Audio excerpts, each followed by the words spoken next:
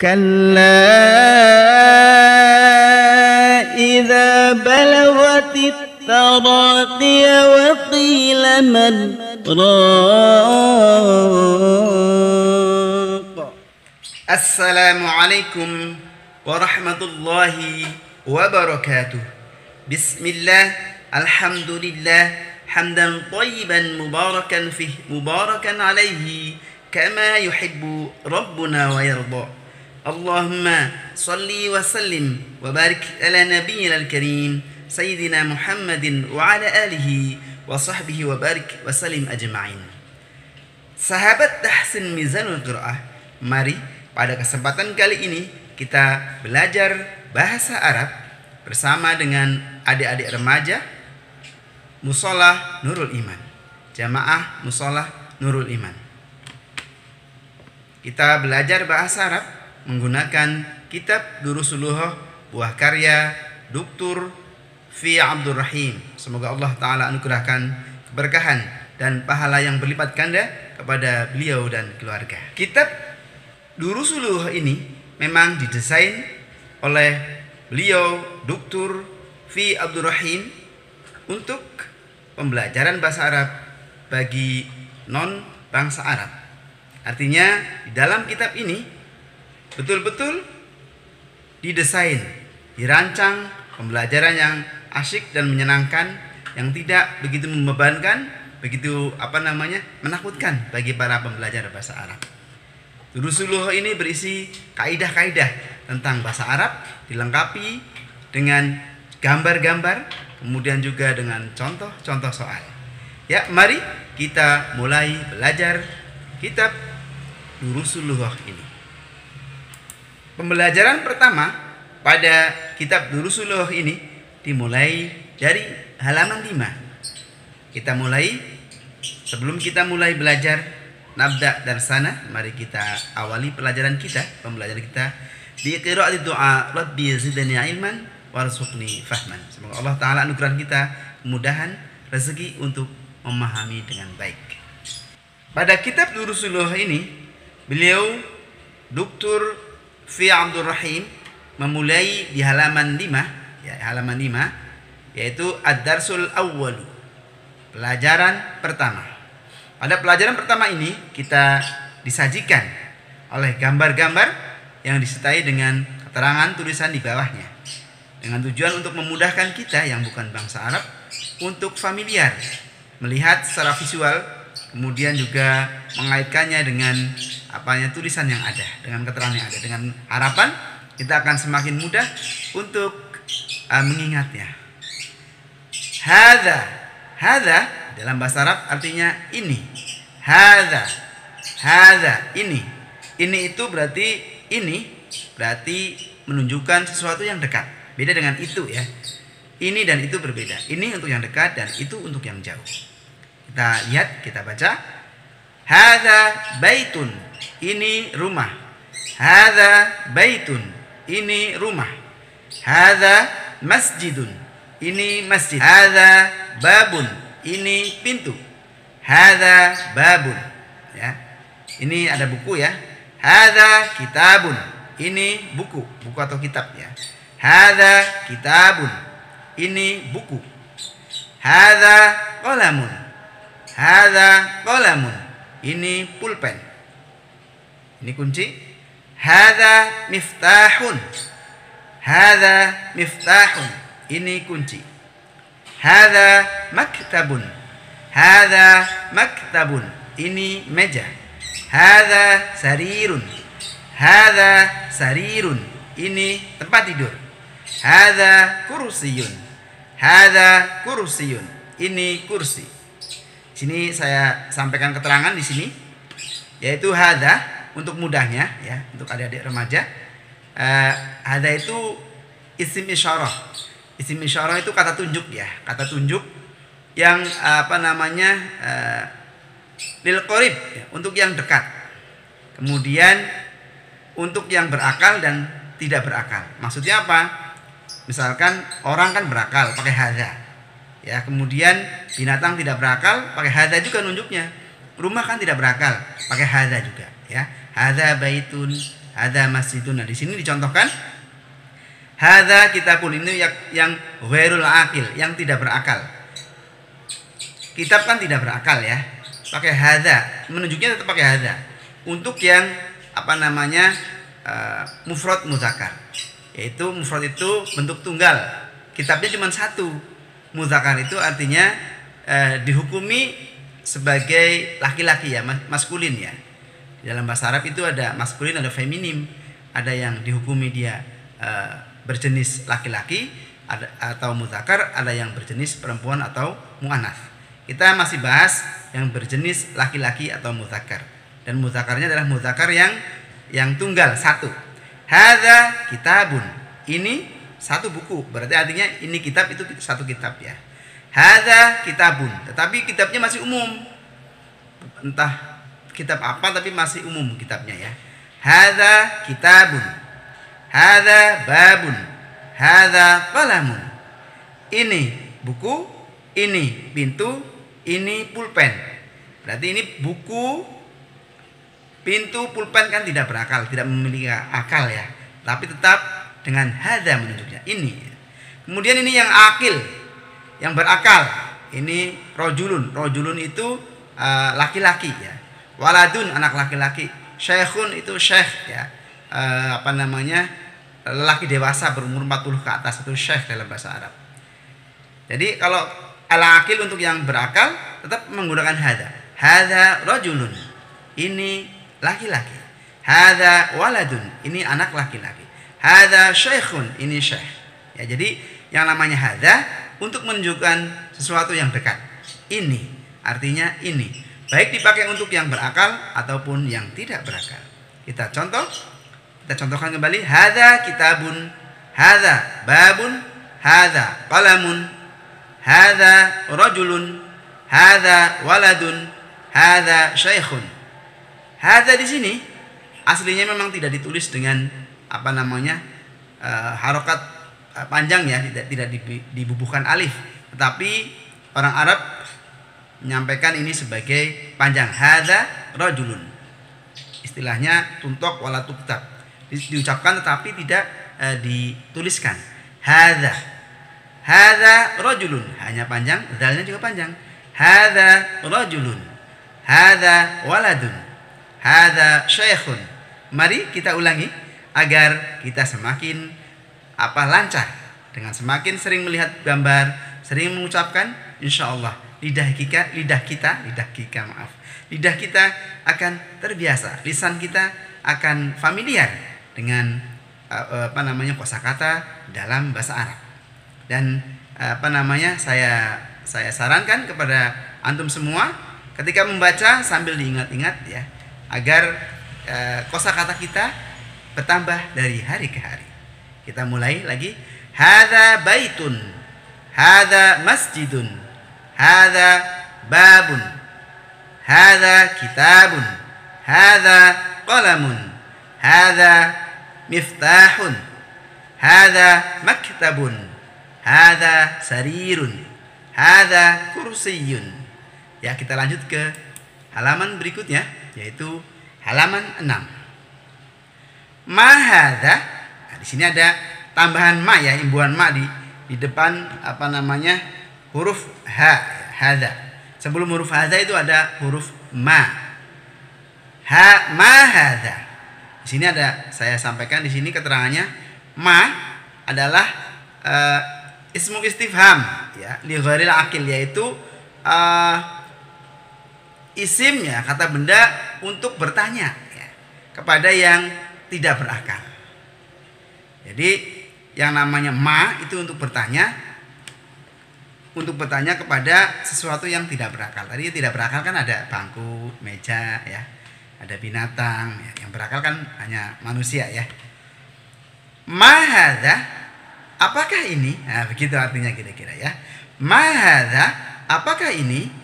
Kita akan uh, lanjutkan ya ini ada gambar rumah ini ada gambar uh, komis ya kemeja ini ada gambar kursi ada gambar pulpen kemudian juga ada gambar uh, bintang ya sini Mahada, apakah ini? Nah, Jadi jadi ada intonasinya ya. Mahada jangan mahada. Nah, ada intonasinya. Mahada apakah ini? Hada baitun. Ini rumah. Kalau kita ditanya mahada kita jawab hada baitun. Ahada baitun apakah ini rumah? Kalau ahada baitun kan berarti sudah ada rumahnya. Orang itu agak sedikit ragu antara rumah atau sekolah atau ruko mungkin gitu ya. Makanya dia nanya pakai a hamzah ya di sini. Ahada baitun apakah ini rumah? Dijawab na'am. Hada baitun. Betul. Ini rumah. Saya ulangi ya. Mahada apakah ini? Hada baitun. Ini rumah. Ahada baitun apakah ini rumah? Karena ini rumah kita jawab dong. Naam. Betul. Hada baitun. Ini rumah. Naam. Hada baitun. Betul. Ini rumah. Ini ada kemeja ya. Mahada apakah ini? Hada qamisun. Hada qamisun. Ini kemeja. Mahada apakah ini? Ini kemeja. Ahada sarirun? Apakah ini tempat tidur? Apakah ini tempat tidur? Ya, ini kan kelihatan ya, ini bukan tempat tidur ya. Bisa juga buat ngelosor tidur, tapi ini bukan tempat tidur ya. Kita jawab lah. Kalau tidak berarti lah. Lah hada kursiyun. Ini kursi. Ahada sarirun? Apakah ini tempat tidur? Lah, bukan. Hada kursiyun. Ini kursi. Ini pulpen. Ahada miftahun? Apakah ini kunci? La. Hada qalamun. Ini pulpen. Mahada? Apakah ini? Hada najmun. Ini bintang. Ini bintang yang dekat ya, maksudnya gambar bintang ya. Karena nanti ada penunjuk jauh beda lagi. Kita ulangi dari atas ya. Mahada, kalau kita bertanya sesuatu yang kepada sesuatu yang tidak berakal, kita bisa menggunakan mahada. Ya. Mahada, apakah ini? Kita lihat contoh soal ini ada gambar rumah ya. Mahada, mahada, apa ini? Ini rumah ya. Hada baitun, ini rumah. Ahada baitun, apakah ini rumah? Saya ulangi. Ahada baitun, apakah ini rumah? Rumah bukan? Rumah ya. Berarti jawabannya na'am. Hada baitun. Betul. Ini rumah. Kemudian ini ada komis ya. Mahada? Apakah ini? Kita jawab hada qamisun. Ini kemeja. Ini kayak kemeja alisan ya kalau di Indonesia ya. Ahada sarirun? Ahada sarirun? Apakah ini tempat tidur? Bukan kan? Lah kita jawab. Hada kursiyun. Ini kursi. Ahada miftahun? Apakah ini kunci? Jelas ini bukan kunci ya. Kita jawab lah. Hada qalamun. Bukan. Ini pulpen. Mahada? Apakah ini? Hada najmun. Kesimpulannya, ketika kita menggunakan ma, maka dia adalah isim istifham, yaitu uh, sesuatu yang untuk bertanya. Li akil, untuk yang uh, tidak berakal. Kursi, eh, apa namanya? Uh, rumah, kemudian kemeja, kemudian uh, kursi, kemudian uh, pulpen dan bintang kan tidak ada yang berakal. Makanya pertanyaannya menggunakan ma. Mahada. Kita lanjutkan. Ya. Ini kita tamrin ya. Tamrin itu latihan ya. Bukan rumah sakit tamrin. Tamrin itu latihan. Soalnya di dekat Limus Pratama ini ada rumah sakit tamrin ya. Tamrin itu artinya latihan. Ini tadi kita menggunakan apa namanya eh, tadi yang contoh-contoh yang awal itu ini masih sama ya gambar-gambarnya ya masih sama gambar-gambarnya agak mungkin uh, nanti kalau di setel perlu di apa namanya di zoom semua ya penuh layar penuh. Agar terlihat jelas apa namanya uh, tulisannya. Sini saya juga melihat di buku ya karena di apa namanya di kamera juga kecil. Ini menggunakan handphone dan tidak pakai kacamata. Tamrin ya. Mahada apakah ini? Nah, ini ditulis harusnya ya ditulis. Kalau ini ditulis di rumah eh di rumah di kalau di pas kita belajar uh, offline langsung ditulis di sini. Atau yang online di rumah silakan bisa ditulis langsung. Mahada apakah ini? Kita jawab hada miftahun. Ini kunci. Mahada apakah ini? Ini kunci apa? Lemari? Ah ini kitab ya. Hada kitabun. Mahada hadza? Qalamun. Ma hadza babun. Ma hadza? Hadza baitun. Ma hadza? Hadza kursiyun. Nah di sini disebutkan ada apa namanya tadi emak ya isim istifham untuk yang tidak berakal. Ini emak ini dipakai untuk apa namanya uh, untuk bertanya kepada sebuah benda atau bukan benda yang tidak berakal. Di sini kita dikasih contoh di sini ya. Ada apa namanya? Empat contoh nih ya.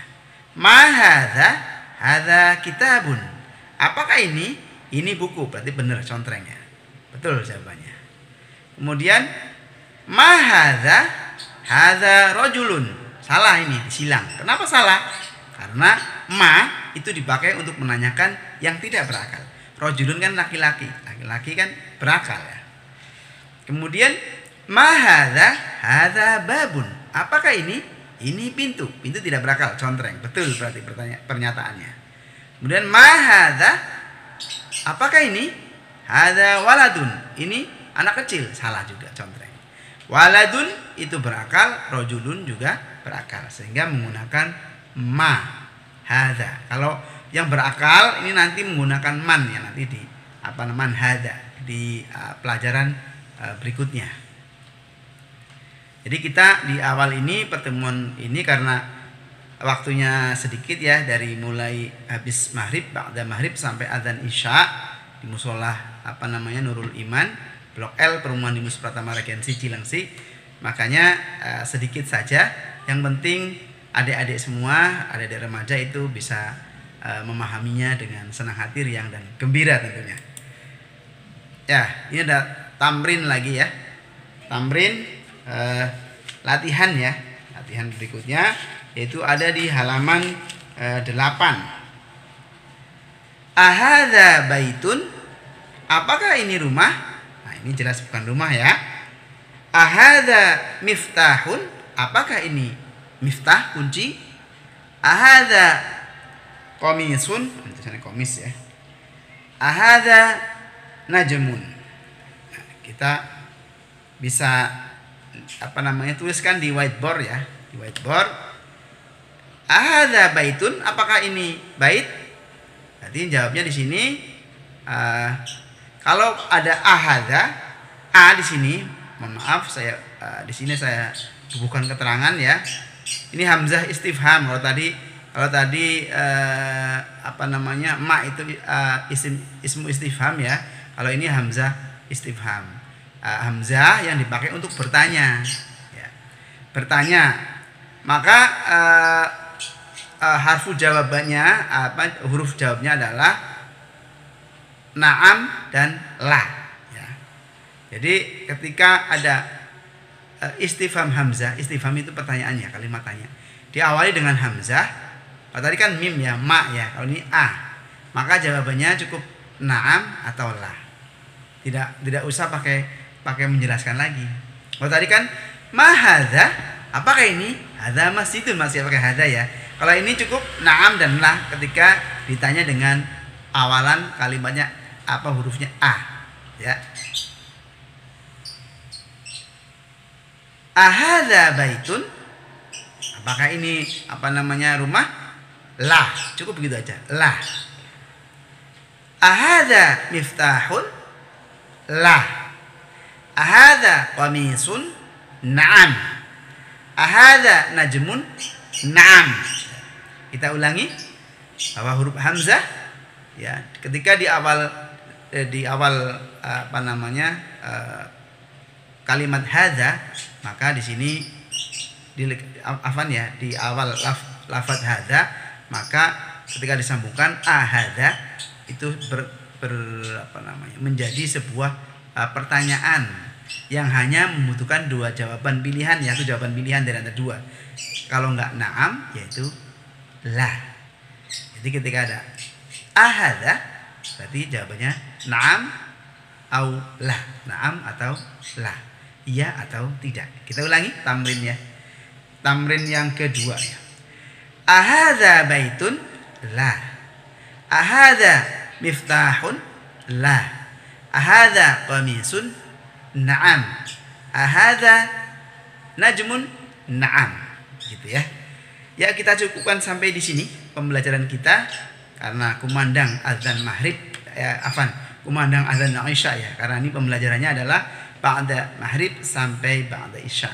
30 menit eh, sedikit mudah-mudahan rutin dan eh, yang terpenting ada adik remaja dan ada juga bapak-bapak yang eh, ikut ya para jamaah mudah-mudahan bisa eh, riang dan gembira untuk mengikutinya ya kalau riang dan gembira kan insya Allah biiznillah akan mudah untuk memahaminya. Mari kita senantiasa belajar bahasa Arab, mencintai bahasa Arab karena bahasa Arab adalah bahasa Al-Qur'an, bahasa apa namanya? bahasa sehari-harinya Rasulullah SAW dan insya Allah bahasa penghuni surga. Ya, kita tutup nah tatim darsana bi qiraati doa kafalul majlis. Subhanakallahumma wa bihamdika asyhadu an la ilaha illa anta astaghfiruka wa atubu ilaik. Assalamualaikum warahmatullahi wabarakatuh. ألف باء تاء ثاء جيم حاء خاء دال ذال را زاي سين شين صاد ضاد طا عين غين فاء قاف كاف لام ميم هاء واو ياء يا هذه حروف الهجاء.